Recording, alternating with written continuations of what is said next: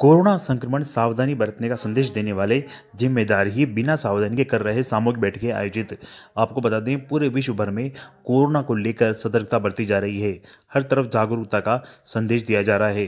भीड़ भाड़ वाले इलाके में बचने की बात की जा रही है। वहीं दूसरी तरफ़ जिम्मेदार लोग खुद बिना सावधानी के, बिना मास्क लगाए जिला कलेक्ट्री सभागार में बैठक करते नज़र आए।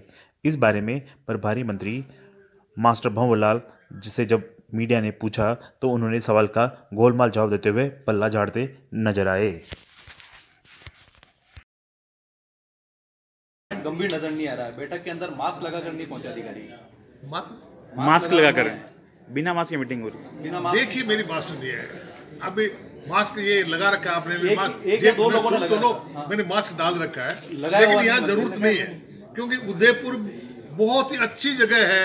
जहाँ पे कोई प्रकार का यहाँ पे खतरा नहीं है। कोरोना का मरीज़ नहीं है एक मरीज़ के अलावा कोई प्रकार के मरीज़ नहीं है। मुझे खुशी है कि हमारा विभाग हमारा चिकित्सा विभाग हमारा प्रशासन विभाग हमारा पुलिस विभाग हमारे सारे विभाग बचाव में लगे हुए हैं। इसलिए ज़्यादा की अब ज़्यादा मत डरो आप तो कोई आपने किसी ने मास्क नहीं पहन रखा है। मास्क पहनने के जो बीमार है उसी को निर्देश है। आपको हाँ, बीमार है वो तो वो तो ठीक है लेकिन मेरा कहने का मतलब है जो बीमार होता है विशेष तौर से उसके मुँह से किसी प्रकार की वो जीवाणु या कीटाणु या जो जो है वो नहीं निकलने चाहिए।